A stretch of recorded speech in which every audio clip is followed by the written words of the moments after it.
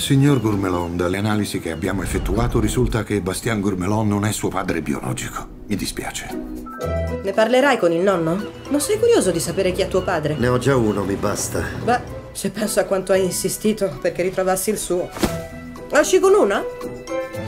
Buonasera. Lei che lavoro fa? Faccio lo sminatore. Sminatore di cosa? Sminatore di bombe.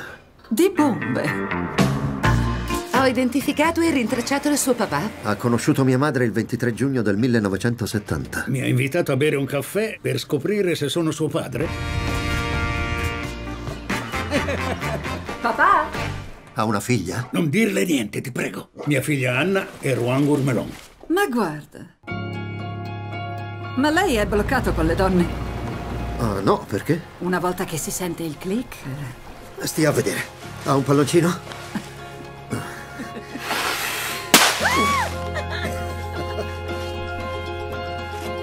Che cosa stiamo facendo? Vabbè, facciamo quello che si fa quando un uomo porta una donna a cena al ristorante. Le basi, cavolo, è l'ABC. Mi dispiace.